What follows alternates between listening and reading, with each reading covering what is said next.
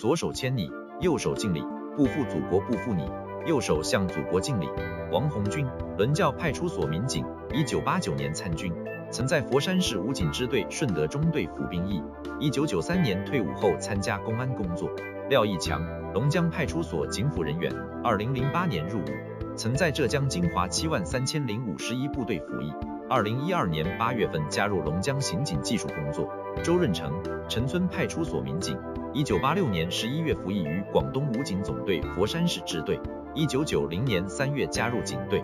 关双伦，巡警大队特警中队民警，二零零八年加入七万三千零二十一部队，二零一零年退伍。张宁，巡警大队特警中队民警，二零零五年至二零一三年服役于武警广东总队阳江市支队。转业后，他一直将退伍不褪色融入到各项公安工作中，发挥着模范带头作用。